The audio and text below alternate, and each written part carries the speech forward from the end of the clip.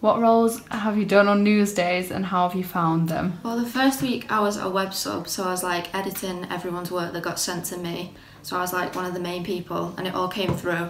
So I was doing like the search engine optimization and that kind of thing. And the second week I was a news editor, so I was going out and finding stories. And then the third week I did infographics, like making graphs and maps for people and stuff like that. How have you found them?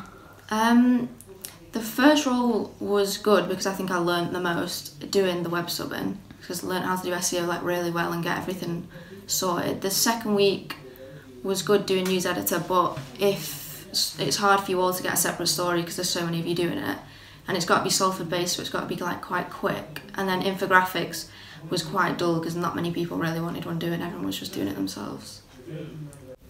What's the favourite role you've done and why? Um, I'd probably say news editor because it's like a much more active than the other ones. so you don't just have to sit in the room all day.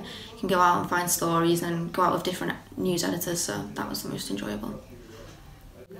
How have you worked in a team during the news days? Um, well, when I was a web sub, there was like a group of us doing it, so all of us, like five girls, we had to work together.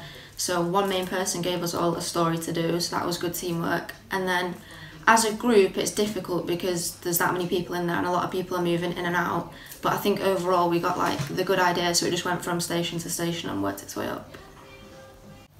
What advice would you give to first years during news days? I would definitely say like come in with a story. So like you've got one ready to go because if on the day it fails or you're doing a job where you can't get a story. So like when I was doing um, web subbing, I was literally on the computer all day, so I didn't have time to go out and get one. But if you come in with a story, then you can still submit on that day. So you're still getting a story going up every week. And I would definitely say that you need to make sure you get everything in each story, so like infographics, maps, as much information as you can, and always have an interview because if not, then they pretty much don't work. What problems did you face during news days? Um, I would say one time one of the editors went out of the room like the main editor for the whole room went out of the room and like went away for like two hours and like everything kind of like broke down. Because if the main person isn't there then none of the other groups can like function properly because no one knows where each other's at.